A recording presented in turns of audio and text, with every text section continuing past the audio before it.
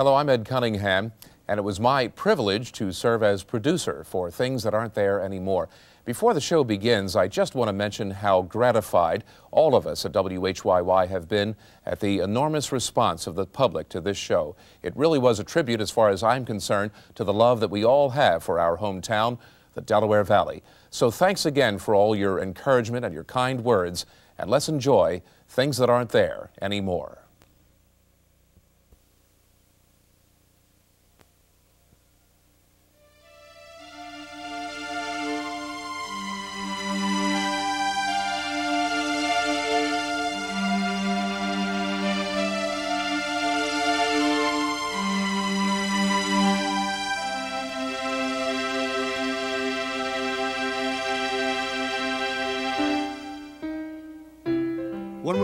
Great deal younger, a neighborhood friendly ballpark offered real grass, a hand run scoreboard, and an intimate setting for not one, but two baseball teams.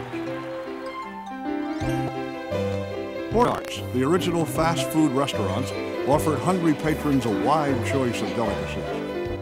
on the avenue. There was a time when movies were shown in theaters that featured gold plated water fountains and marble stairways, in addition to popcorn. And who can forget the thrills and chills of riding the Alps and the delights of walking the Midway at Old Willow Grove Park? All of these places and many more defined the pleasures of life in the Delaware Valley in the first three quarters of the 20th century.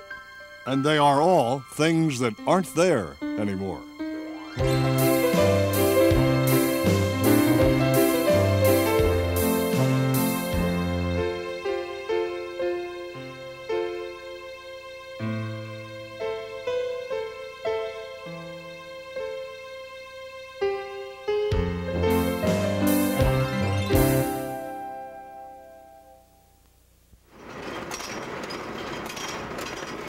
Before the modern theme park were even dreamt of, the place to go for thrilling rides, exciting music,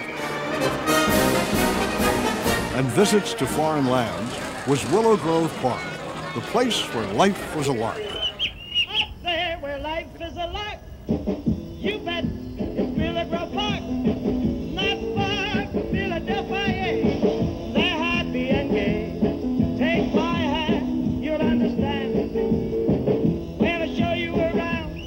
probably remember Willow Grove Park from childhood visits in the 50s and 60s. But the park wasn't just in the amusement business. It was created back in 1896 by the Union Traction Company, which was looking for a way to increase business for its trolley lines on the weekends. It was an instant sensation, alternating the speed of the mountain scenic railway with the sylvan splendor of a man made lake and the patriotic melodies of the John Philip Sousa Band. When Willow Grove Park was built, it cost $500,000. The electric fountain cost one fifth of the $500,000, which, when illuminated by the powerful electric lights, produce effects of marvelous beauty. Anita Smiley is a former school teacher turned amateur Willow Grove Park historian. Venice was a very popular um, amusement ride at Willow Grove Park. You rode in a gondola, and you never saw another gondola as you rode through Venice. As you rode in your gondola and went under the bridge, a mechanical man tipped his hat to you, and as you rode past the palaces, a lady waved her handkerchief at you.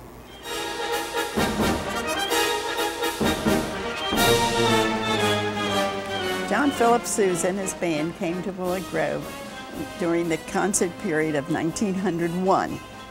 They came every year, too, including 1926, except for 1911. Sousa's last year at Willow Grove Park was during the summer of 1926. It is noted that over 100,000 people were in Willow Grove Park that evening, and the very last number he directed in Willow Grove was the Stars and Stripes Forever.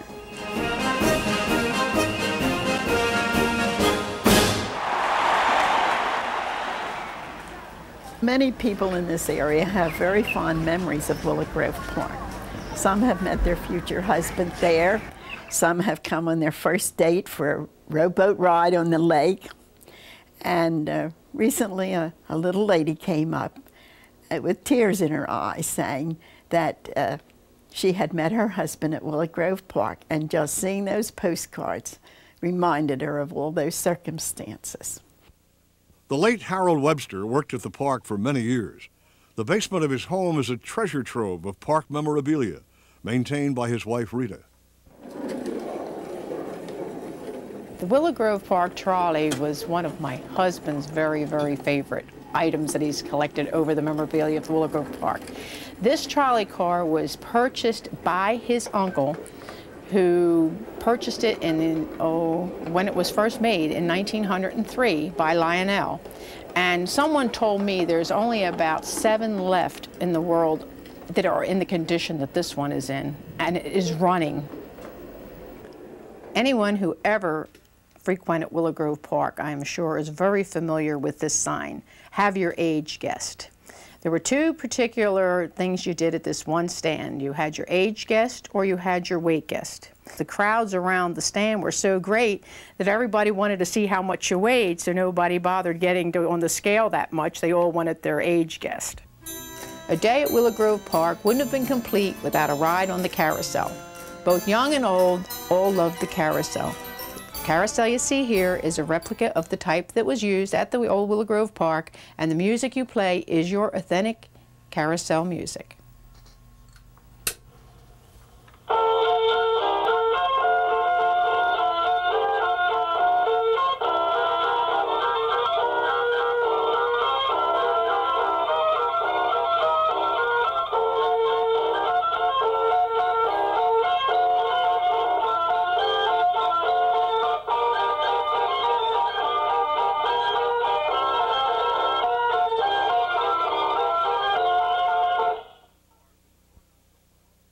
Willow Grove Park in the northern suburbs and Woodside Park in West Philadelphia had one thing in common. They were built and operated by the transportation companies to provide more reasons for riding the streetcars. The Fairmount Park uh, Transportation Company uh, went into business in 1896. They built the uh, Strawberry Mansion Bridge across the Schuylkill River. That was built as part of the construction of the uh, Fairmount Park trolley line. It was very much a warm weather attraction, very much associated with Woodside Park. For the first half of this century, Philadelphia was a trolley town. By the 1920s, the city boasted a fleet of 2,000 streetcars, which rode on more than 550 miles of track. In Center City, Market, Arch, Chestnut, and Walnut Streets all were lined with trolley tracks as well as every numbered street from Front to 23rd. In those days, streetcars were the last word in travel.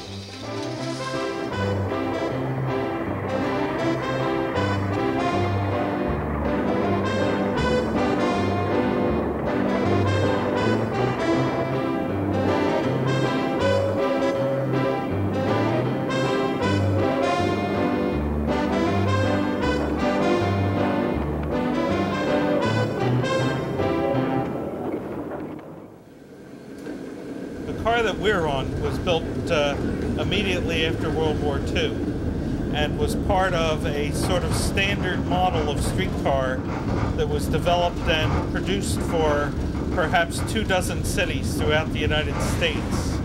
The cars came in many different uh, models. Uh, some people may remember cars that uh, were what are known as double end with operating controls at both ends. And either end could be the front or the rear as you might imagine, in the days before the widespread use of automobiles, getting a group to and from a funeral was a bit involved, and especially getting to and from the cemetery. So many transit systems, Philadelphia amongst them, provided a service where a special streetcar was fitted out for use by funerals. The car had a large uh, hatch in the side to allow uh, placing the uh, coffin inside the car and then the car was run to the nearest point to the cemetery from the funeral home. The car was known as the Hillside. Following the Second World War, streetcar ridership began to decline all over the country once automobiles became more available and gasoline was derationed. Tucker has a theory about all of this, and it's nothing if not provocative. there was a conspiracy to buy up useful rail transit properties and destroy them. And that firm was known as the National City Lines Company. They were owned by the General Motors Corporation, Firestone Tire and Rubber, and uh, some oil companies, and um, took over the Philadelphia Transportation Company and sold almost as many assets as we still have today in the SEPTA system. Uh, several car houses and garages were closed, sold off a lot of vehicles, and so forth. This was part of a nationwide program to uh, reduce the availability of public transportation and thereby sell more automobiles. There are still a few trolley lines operating in Philadelphia, and they're kept rolling by a dedicated army of maintenance workers in depots all over the city, like this one at 58th and Callowhill Streets in West Philadelphia. Men like Bob Hughes and his staff are fond of the old PCC, or President's cars, just like the one we just rode on. They're sturdy and reliable, but have been phased out in recent years by the more streamlined LRV, or light rail vehicle. In fact, the last PCC car rolled out of the barn in September 1992 and into the memories of those who rode and worked on them for over 40 years.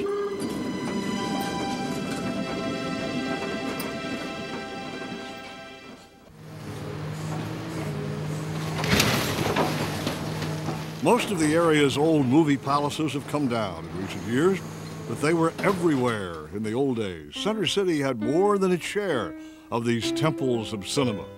Fox, Stanley, the Boyd, and many others. But two theaters stood out in their day from all the rest the Mastbaum and the Earle.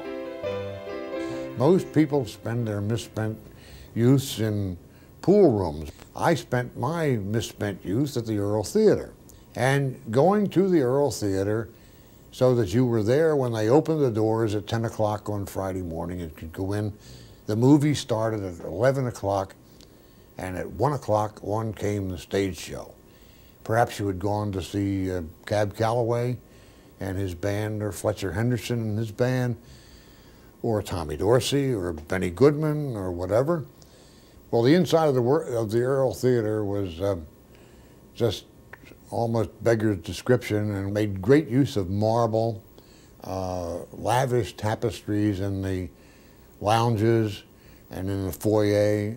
Uh, there was just a, a, feeling of opulence all the way through. And this obtained even after the kids began to come in, the teenagers following the big band. We had a kind of a feeling that it was a hallowed place in its way. So nobody took any liberties with it and everybody respected it and it was indeed a, a most opulent place. The Mastbaum Theater. How do you talk about the Mastbaum Theater? It was a, uh, well, first of all, it looked more like a Greek temple or a, a great museum than it looked like a theater. At the front, there were eight freestanding Doric columns, and they flung themselves skyward, and it just was a magnificent thing. And one walked in, for example, into this huge lobby, the fountain lobby, which was the greeting place, the foyer, and everything just kind of circled around there as far as the first stage of your going into the theater was concerned. There were two grand staircases that looked like something that Ziegfeld must have designed for one of his shows. If you didn't want to walk up the staircases, there were eight elevators that took you to eight different levels of the uh, theater. And there were 4,700 seats, so you can see it was spread around pretty well.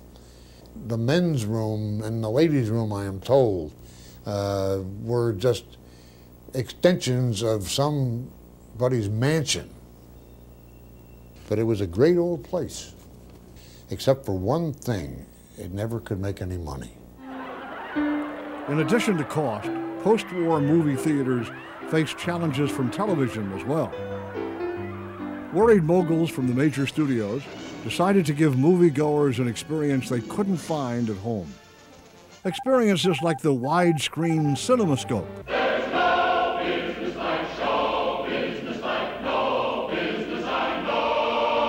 the wraparound Cinerama.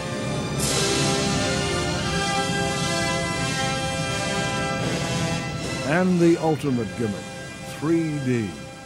Objects seemingly jumped out of the screen and into the laps of audiences who donned effective but not very stylish 3D glasses. Producers and theater owners also got into the act, especially in promoting horror films.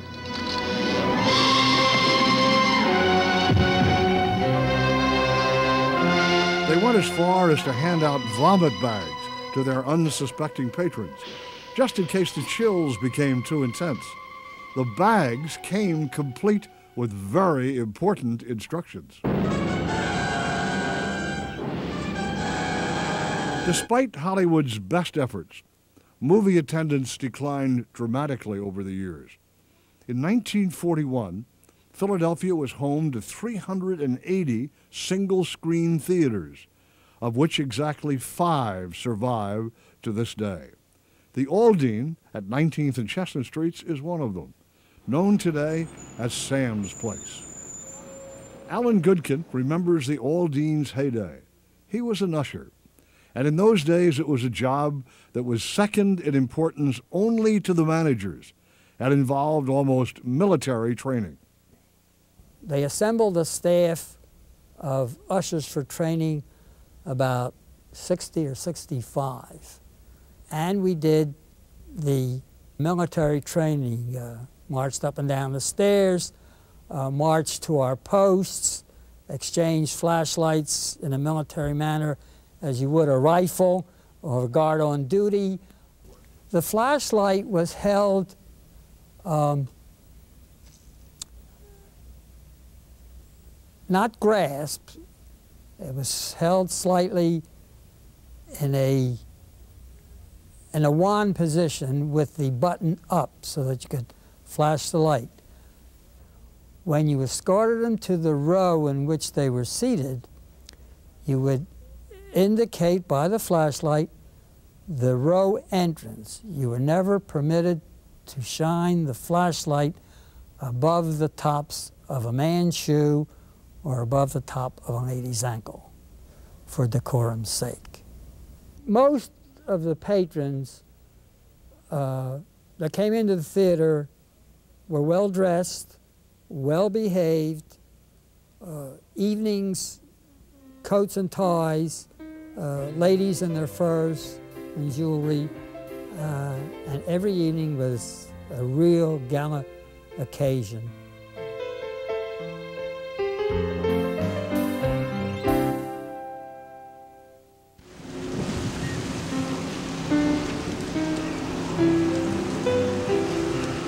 Today, when you want to traverse the Delaware River, one of these is the way to go. But there was a time, not so long ago, before the days of the suspension bridges, that ferry boats were as thick on the river as buses are on Market Street today. In fact, when another ferry was launched, it was a major civic occasion.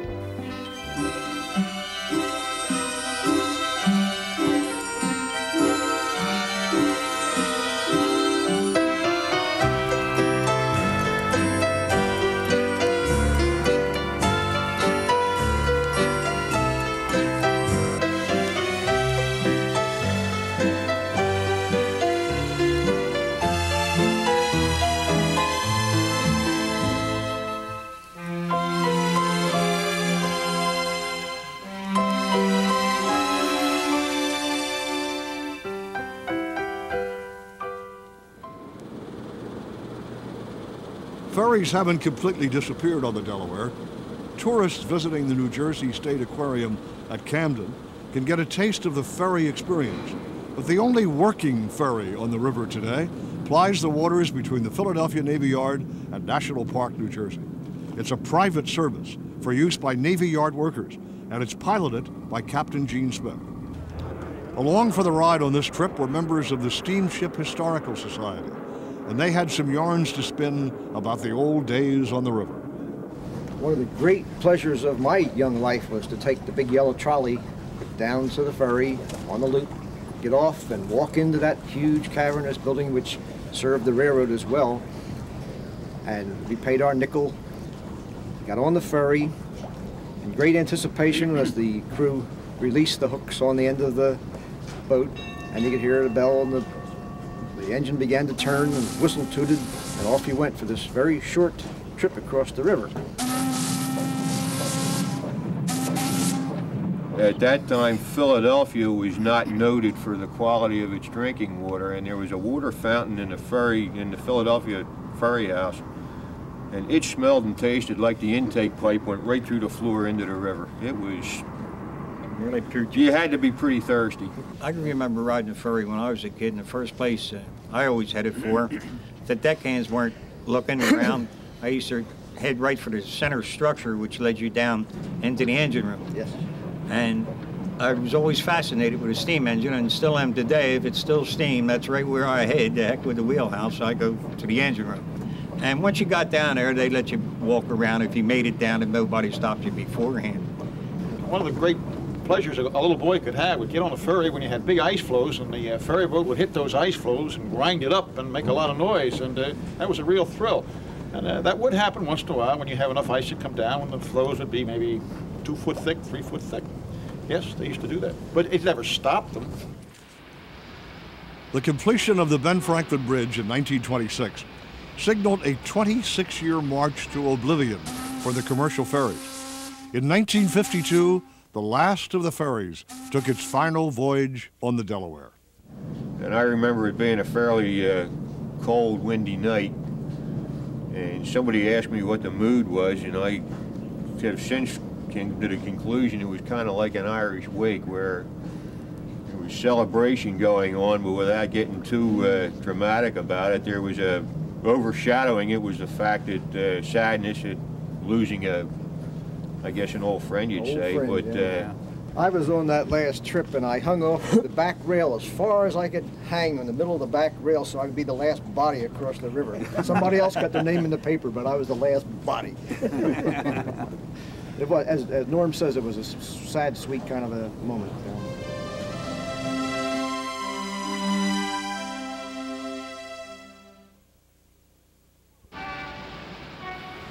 You remember Horn and Hardart, the stainless steel keeper of culinary delights, the coin operated window dispenser. For a meager few coins, you were entitled to choose from a wide selection of delicacies. Everything from delicious cherry pie, hot dogs, to macaroni and cheese. Horn and Hardart's automats meant less work for Mother. As I recall, for three nickels, which you would put into the old slots and then move the crank, uh, it was two nickels for a uh, plate of, or a pot of baked beans, and it was one nickel for a cup of coffee or a soft drink, and you just sat there and re-fortified yourself on baked beans and, say, Coca-Cola. Joseph V. Horn and Frank Hardart founded their restaurant chain in 1888 and installed the first automat in America in 1902 at this location, currently the home of a drugstore. By the 1920s, Horn and Hardart was so firmly established, both in Philadelphia and New York, that it entered the worlds of art and of cinema.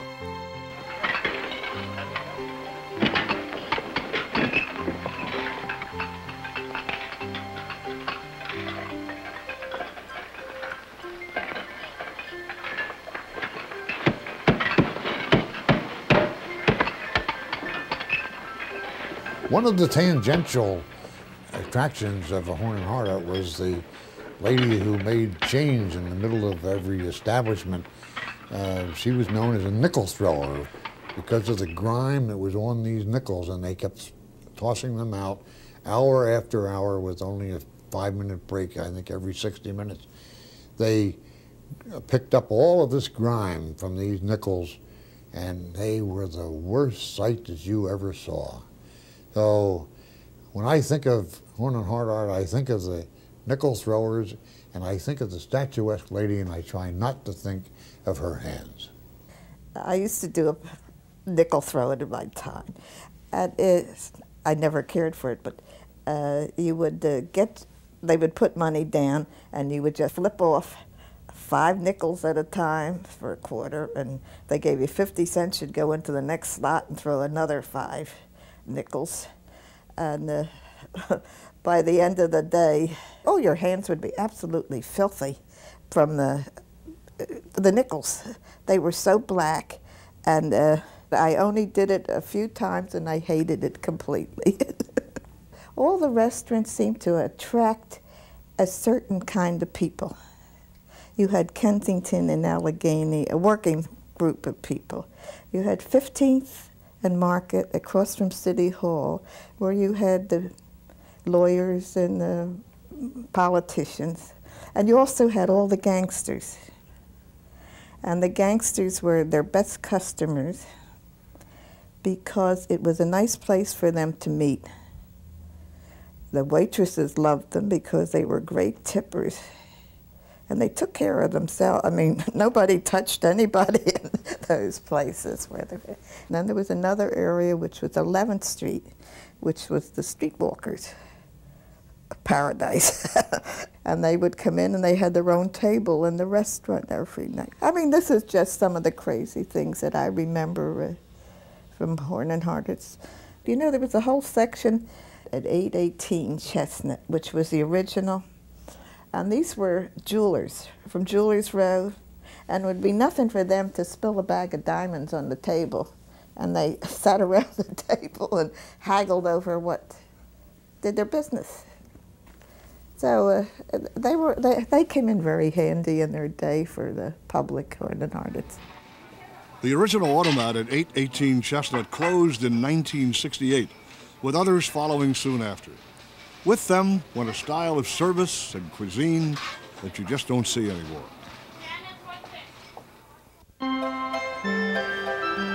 If you had to make a list of favorite childhood memories, one of them might be the first time you set foot in Connie Mack Stadium and marveled at the sight of an emerald green playing field and an outfield wall festooned with advertising posters. The stadium, originally known as Shibe Park, hosted the American League Athletics and later the National League Phillies from 1909 through 1970. The NFL Eagles also called it home and played the 1948 championship game there. Shibe Park also hosted political conventions and other events in its 62-year lifetime. It was the nation's first concrete and steel ballpark, built for the princely sum of $1 million. For all of that, Shibe Park fit neatly into the fabric of its North Philadelphia neighborhood. That's a fact that architect and planner Leon Klemmer should know all too well. His grandfather, Joseph Steele, built the place. It was a community. It was a community of Shibe Park. The players, the groundskeepers, everybody knew everybody. They walked to the park. They played together. They re, re, they went to the same. The churches were right down, right around the community. This is the great thing about the way the industrial Philadelphia was. It was the same as any big industrial building. It was a place of work. It was a place of play, and people congregated around it. The people that worked there lived there. When they coined the term friendly confines, they meant Wrigley Field in Chicago, but they could have had Shibe Park in mind. The sight lines were excellent in Shibe Park. No matter where you sat in the main uh, seats, the main stadium, you had tremendous sight lines. You could see that ball field. It was built for baseball. Babe Ruth used to break windows on 20th Street with some of his home runs and would launch some of his shots over the roofs. The neighborhood setting was so cozy that relief pitchers would sometimes drop by the local tap room in uniform for a spot of liquid refreshment during slow ball games. In the late 20s and early 30s, when the A's sported some memorable World Series teams, neighbors across the right field wall on 20th Street capitalized on the demand for series tickets by building bleachers on their roofs and admitting fans for half price. They'd send their children to local vendors to buy hot dogs for a nickel and resell them to their rooftop fans for a dime. Business boomed for these neighborhood entrepreneurs until 1935, when stadium co-owner John Shibe decided he couldn't endure the competition any longer. He erected a 38-foot addition to the right field fence, blocking the view from across 20th Street. the rooftop bleachers were put out of business. The Phillies' greatest success in their Connie Mack Stadium years came during the era of the Whiz Kids of the late 40s and early 50s. A charter member of the Whiz Kids was Richie Ashburn, who achieved fame with the Phillies first as a player and later as a broadcaster. I'll tell you what, what impressed me about Connie Mack Stadium the first time I walked into it was the number of people. There were about 35,000 people there. It was a sellout. I had never seen that many people in one spot before. And that, I mean, the, the awesome size of it and the noise of all those people. I had, uh, I grew up in Tilden, Nebraska, population around a thousand. Just the the noise and the size and, and the beautiful uh, playing field was, was very impressive to me. That's one of the, one of the most, uh, uh, that was one of the best moments, I think, in my major league career, really, was that first day in the Connie Mack Stadium. I was a center fielder, of course. It was a perfect outfield for a center fielder. It was huge. Center field cover a lot of ground, so I had a lot of room to roam. And, and once again, the grass out there was, was just manicured. Uh, you, you could charge a ball without fear of, you know, a bad hop. And uh, it was probably the best outfield for a center fielder in the league at that time. Our groundskeeper used to build up the line a little, the third base foul line a little bit for me, so the bunt that went down that line wouldn't roll foul. And, and some people would think that's cheating. I'll tell you what it was. It was equal time because when I went on the road, they did just the opposite. They built the line so it tapered so the ball would roll foul. For all of the Whiz Kids, their most exciting experience at Connie Mack Stadium was the 1950 World Series against the powerhouse New York Yankees. It was a great thrill because there hadn't been a pennant won in Philadelphia uh, since 1915. And of course, in 1950, that was 35 years later. It was, it was certainly the highlight of all our careers. We and we were young. We were called the Whiz Kids, and we were all young. I was only, I think, 22 years old then, and uh, one of the oldest guys would have been Del Ennis, who may have been 25 or 26. So uh, we we it was disappointing in that we lost four games in a row to the Yankees.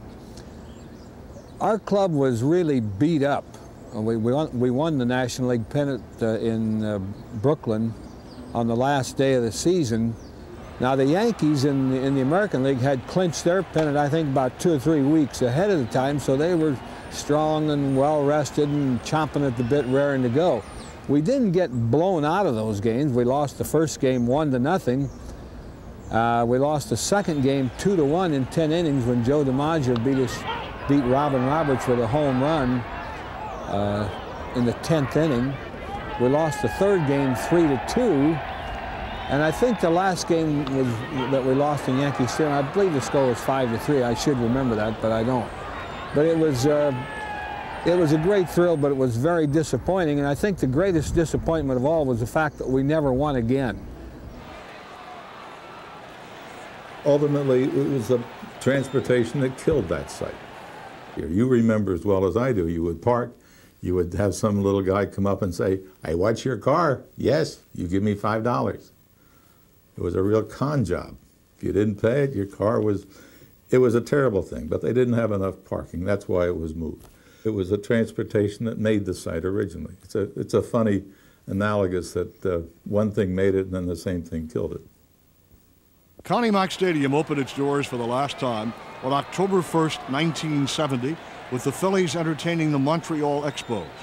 Thousands of fans began lining up hours beforehand, and they had more than the game on their minds. And I think the, the reaction by the fans, uh, not after the game, after the game, but even during the game, this, it started maybe the sixth or seventh inning you know, people said, hey, I'd like to get a souvenir out of here. By the sixth inning of the game, the sounds of ad hoc demolition could be heard all over the stadium. And when the Phillies finally won the game in the bottom of the 10th inning, all you know what broke loose.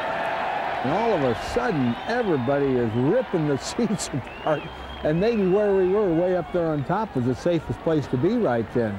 And I thought, well, yeah, what, what are they going to do about this? I mean, the place is, the place is being literally torn apart right before our eyes. And I thought, these people are crazy. And then I looked down and saw my two sons down there ripping off a seat.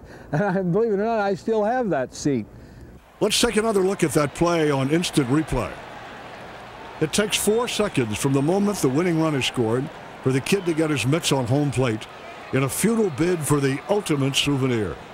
You'll see how quickly he realizes that the plate is firmly secured in the dirt and decides to grab the next item that isn't nailed down. By the time it was all over, souvenir hunters had taken seats, bats, gloves, baseballs, the sod, snack tins from concession stands, even toilets and sinks from the restrooms. It was an inglorious farewell for a grand old park. And even Saturday was to come for Old Shibe Park. In August 1971, vandals broke into the stadium and set a small fire just for the thrill of it. The blaze spread and claimed much of the steel support, the roof, and the decks along third base. Connie Mack Stadium, once hailed as the largest and most perfectly appointed baseball grounds in the world, had become a derelict, fit for habitation only by rats. The wrecking ball finally put it out of its misery in 1976. Today, the site has found new life as the home of the 5,000 seat Deliverance Evangelistic Church, a temple of faith where once stood a temple of sport.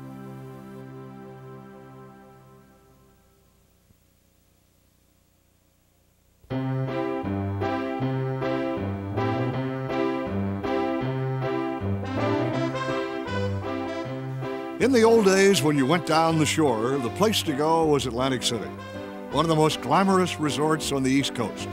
It boasted a beautiful beach, a lively boardwalk, and elegant hotels. And the showplace of Atlantic City was the Steel Pier, the vaudeville center of the boardwalk. In its heyday, the Steel Pier hosted some of the biggest names in show business, along with exciting daredevil acts. If you frequented the Steel Pier from the 40s to the 60s, your host was probably a man whose vocal skills would later make him well known to a generation of sports fans. He's Gene Hart, the voice of the Flyers. Not only that, but he's also married to the lady who rode the diving horse. So my life was New York school in the in the winter, and then to Atlantic City from Memorial Day to Labor Day on Steel Pier. Uh, as I matured and got out of the service, I started doing other jobs on the pier. I, instead of being a, a, a child fake Hawaiian diver, I became a stagehand. I became a gun holder for a lion tamer. Became a comedy diver, assistant stage manager to my father, and uh, that career went on until the, the pier's demise. So we've had pretty much of a 40-year situation. In fact, my ultimate end was going from uh, the fake Hawaiian diver and the son of the stage manager to the announcer of the water show. And I think technically that was the first work that I did uh, as a broadcaster of sorts. And of course, the other thing was my wife came up from Florida in, in the late 50s as the diver of the famed Steel Pier diving horse, and that's where we met. After my freshman year in college, I got an audition. So I came up, went up to the top of the tower on the horse, and that was my audition, and got the job It was still cold out. It was early spring. I was scared to death. so it does take more than anything courage just to do it. But the act itself I never thought was that difficult. What you have to do is just simply get on the horse and hang on tightly and go along for the ride. But it was up to the horse. A lot of people think that we either shoved them off or they had electrical charge or something like that. Not so. They simply went up there and when they wanted to go, they went.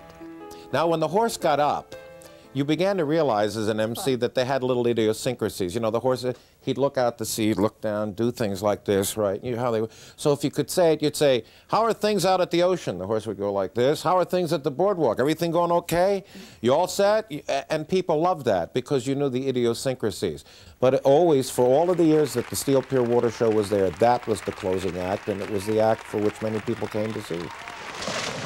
So that was our life. Uh, it was a tough job because you worked every day. And the shows, it's almost how you remember, they, on, on, weekdays there were 2, 4, 8, and 10. Then on Saturday nights you would do it, so you would do 2, 4, 8, 9, 30, and 11. And then on Sundays you would do 2, 3, 30, 5, 8, and 10. So we did 5, 5, we did 30 shows a week.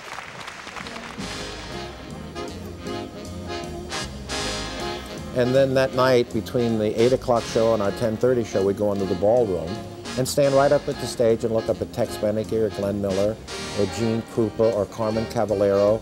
Uh, I mean, every band that was known came in. I remember one time when I saw Betty Grable come in in a white fur coat because Harry James was there. Well, television came in. And television obviously would pay more for one show on Ed Sullivan or the Kate Smith show or the Sid Caesar show than you could make for 30 shows in Atlantic City. So the, the concept of Steel Pier became passe. In fact, I, I, uh, she knows we, we, don't, we don't even go on the boardwalk where we can see Steel Pier. It aggravates us, you know, to see and say, do you remember what it used to be? But the important thing out of it all is if, if, if it had not been for Steel Pier, we certainly would never have met. No. So not only do we enjoy them and savor the fine memories of those that time, yeah. but we realize that it was fate. Yeah, and here we are because of Steel Pier. There's another area of town that is looking to recapture its past glory. From the 40s through the 60s, Kentucky Avenue between Atlantic and Arctic was jumping 24 hours a day with the sounds of jazz and rhythm and blues and the aromas of barbecue. Patty Harris remembers those days when she danced in Larry Steele's Smart Affairs at the focal point of Kentucky Avenue, the Club Harlem. We were called the Beige Beauts and the Beige Bows. Always more girls than fellas. It's always four fellas and maybe, um, I would say roughly about 20 girls. And um, we would do two shows a night, uh, three on Saturday night, Sunday morning. We had that wonderful breakfast show uh, that started at 6 a.m. And a lot of celebrities from all over uh, the city would come in, you know, like Frank Sinatra and work with people like um, Jackie Wilson, or Roy Hamilton, um, Marvin Gaye, and the list just goes on and on. The people would be lined up from Atlantic Avenue waiting to get in to see these shows. And even though uh, it was a black revue, the audience was primarily white. And uh, the whole street was ablaze. we started uh, rehearsing uh, in June. The show would open July, and we worked to September. All these things were just, uh, just really wonderful times. The costumes, the hats, the girls, and the food out here on Kentucky Avenue, going to the fishery and Saps for ribs and Jerry's for ribs and up to Miss Johnson's for soul food. And it was just wonderful. And then you eat and then you go to the beach and you'd have beach parties or just sleep. So, I mean, I think after working all night, you're too, really too hyped up to, to go home and sleep. So you go on the beach and party a little bit more and just, you're there for a while.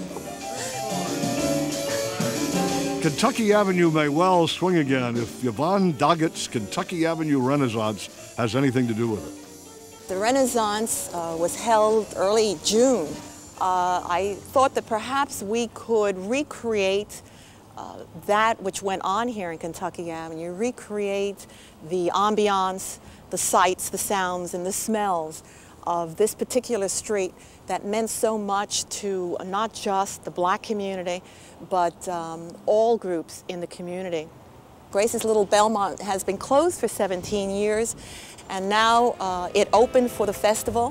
When you walked in there, it was as if it had never closed. There was a band on the bandstand playing, and they were playing April in Paris, because that's what was playing in the organ of the big stage here at the Club Harlem.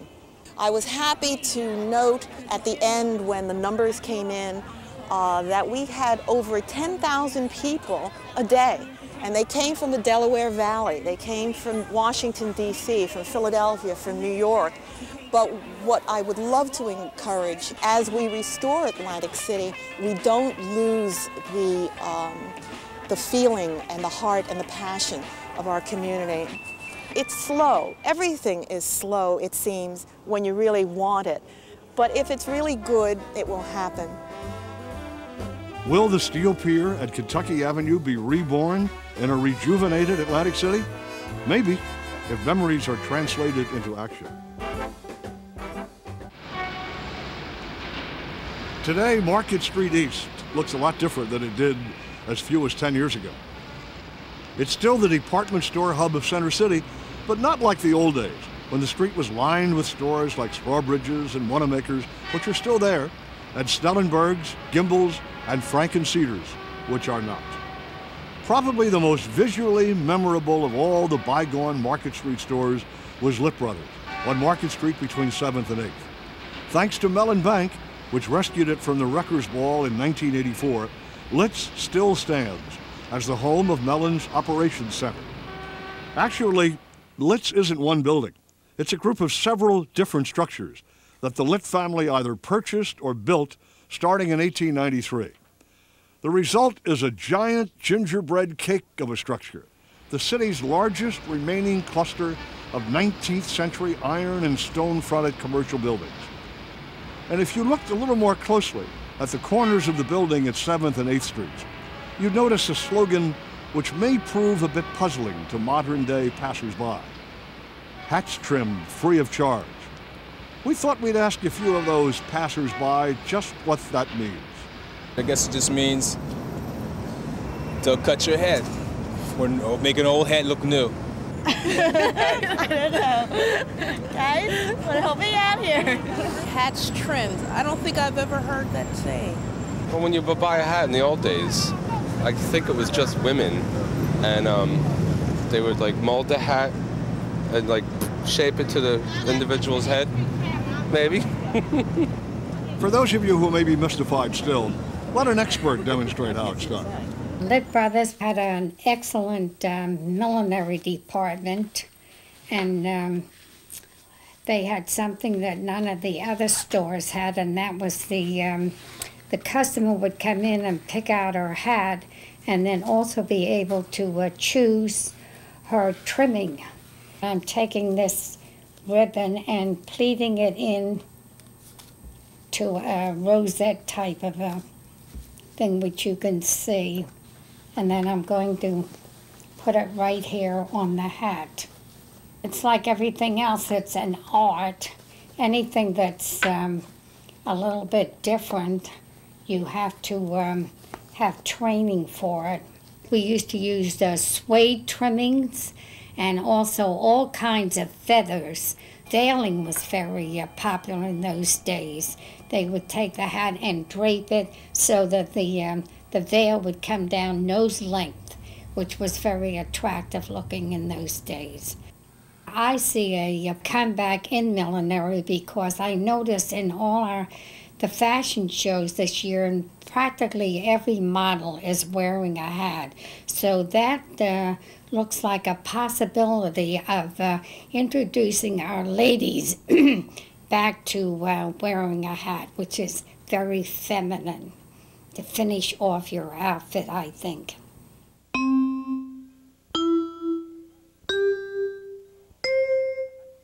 Now that's hat trimming. Lit Brothers went out of business in 1977, and Gimbel's, another major Market Street chain, followed soon after. Gimbel's won't be remembered for the splendor of its store at 8th and Market. What gave Gimbel's its claim to immortality at least for two generations of kids, was its sponsorship of the annual Thanksgiving Day Parade, starting in 1920. Every year, until the store's closing, the parade would wind its way east on the Parkway, around City Hall, and east on Market Street to the store. The grand finale featured the arrival of Santa Claus, who would receive the keys to the city. and then ascend a fire truck ladder into the fourth floor of Gimbel's. It just wasn't Christmas in Philadelphia until Santa Claus did his thing. I was a Philadelphia fireman stationed at 10th and Cherry, and it was the custom that a fireman would be Santa Claus in the Gimbel's Day Parade because ladder 23 that was stationed in the firehouse was the ladder that Santa Claus would climb up to get into the old Gimbel's building. And the battalion chief said that I was the fattest guy there and that I would fit right into it. And, and that's how it all began for me. That was uh, the Santa Claus floats uh, were not of great quality. They were uh, tied together with clothesline. They had little casters on the bottom, and it was just like a pallet that the sled was mounted on, and you would hold on for dear life. In the event that the Santa Claus would fall off the sleigh, the parade could continue, and the backup Santa Claus would go on. It was like the show must go on, you know, that kind of thing. We go through the parade, and you would wave the entire length, and the Gimbel's parade would end at Gimbel's. The queen of the parade would be there, and she would give the key from the, for the city to Santa Claus to open up the holidays. And when all that publicity stuff was done, Santa Claus would put a bag of toys on his back and he would climb up the ladder. And this is something that very few people will ever be able to vision what I've seen. I would go up a half a dozen rungs on the ladder, turn around, and look over Market Street in any given direction, and it was covered with people from down as far as 7th Street at one end, at the other end as far up as probably 10th or 11th. It was nothing but people. I purchased for my own personal use a pair of Santa Claus glasses, like the old Ben Franklin kind. And uh, this one year, I happened to forget to take the glasses with me when I left the house. And the makeup man said, just wear the ones you have on, which are very similar to what I'm wearing now. He said, they'll look perfectly fine. Not thinking that these glasses were photo gray glasses. We got to the end of the parade and they're photographing and they, all of a sudden they're asking why Santa Claus is wearing sunglasses. Never thinking that I was wearing photo gray glasses. Well, that was my last year as doing Santa Claus because I really don't believe that Commissioner Rizzo appreciated Santa Claus wearing sunglasses. And I feel it, that that was one of the reasons that I kind of lost my job to be Santa Claus and to be Santa Claus for a long time. It was one of the highlights of my life, really.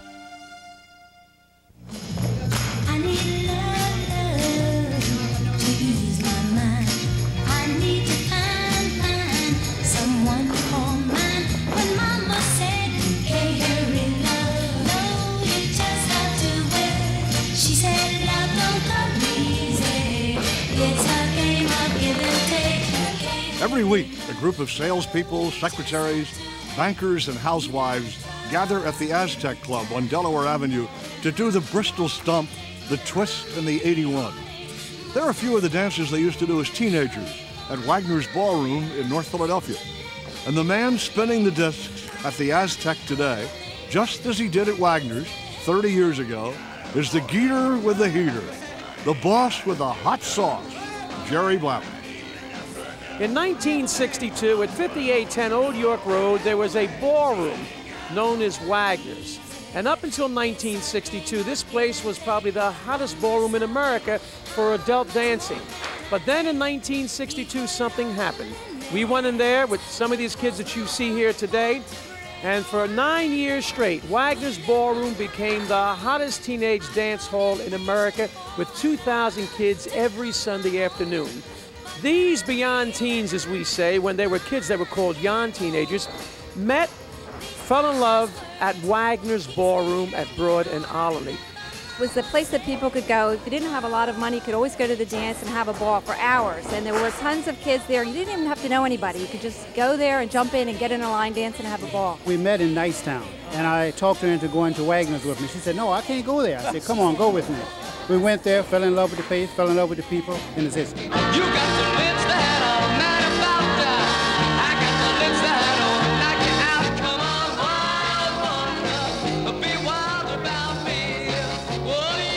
To dance so much from the beginning to the end that we all used to get soaking wet and sweat, and the um, mirrors around Wagner's ballroom would steam up. And people would say, Well, when we walk outside, is it raining? No, it's not raining. We're just having a ball and having a wonderful time. We would name all of these wonderful dances that these kids came up with from the spot that they were dancing. And at that time, it was Wagner's Ballroom, so we called it the Wagner Walk, or the Shebu Walk, or the Riviera Roll, or the Jerry Strut.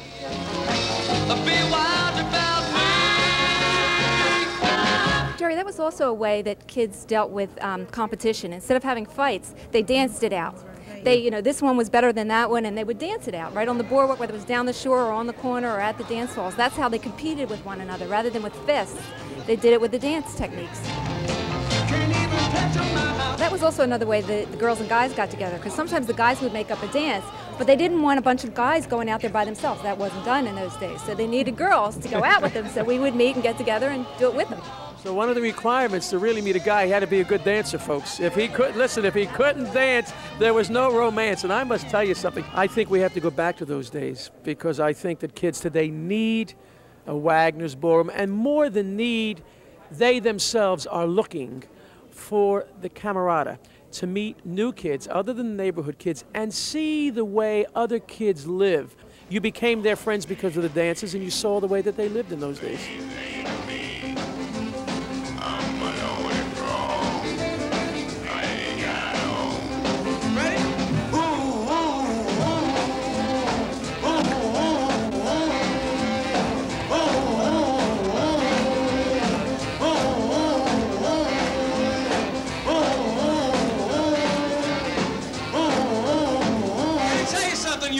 Terrific TV audience. I mean that sincerely. Let's give them a big hand. A big hand over here for these people? Thank you. Thank you very, very, very much.